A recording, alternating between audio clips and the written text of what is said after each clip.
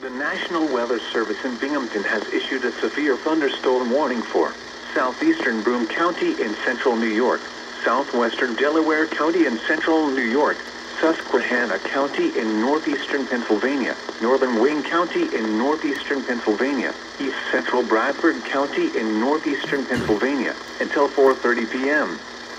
At 3.49 p.m., severe thunderstorms were located along a line extending from near Harpersville to near Rome, moving southeast at 35 miles per hour.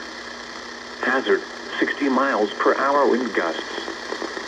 Source, law enforcement.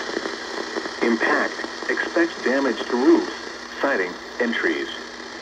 Locations impacted include Kirkwood, Conklin, Rush, Jackson, Clifford, Sanford, Susquehanna, Deposit, Susquehanna Depot, and Springville.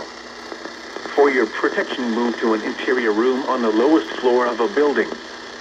To report severe weather, contact your nearest law enforcement agency. They will send your report to the National Weather Service office in Binghamton. Damaging winds and frequent cloud-to-ground lightning is occurring with these storms.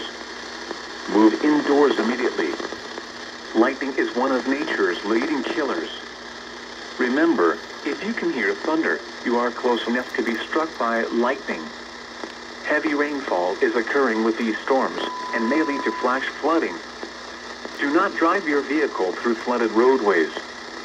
Repeating, a severe thunderstorm warning has been issued until 4.30 p.m. for the following county, Wayne, Pennsylvania.